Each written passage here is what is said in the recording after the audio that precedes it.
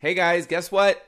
New feature! Whoa! Okay, so this new feature, I'm actually really excited because it makes things so much easier for you guys, especially when you're managing your app projects. Okay, so what this is going to allow you to do, this new feature, is going to allow you to remove any integration with a click of a button. So easy. Before it was, let's say you have Google Ads and you wanted to uh, remove that integration for a client, you had to actually call the client have them log into their Google Analytics account and actually manually remove that integration. Super inefficient. Now, all you have to do is click a button and it removes the integration instantly. So let me show you how to do that in your Projects app. So let's go to your Projects app.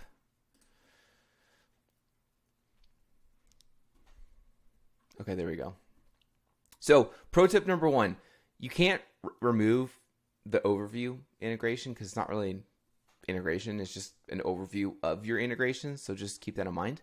But if you go to Facebook ads or Google ads or any other integration, let's just go to Google ads, for instance, and you want to remove it, instead of contacting your client to have them go remove it, all you have to do now is see this little button on the top right. It says disconnect integration, this red arrow.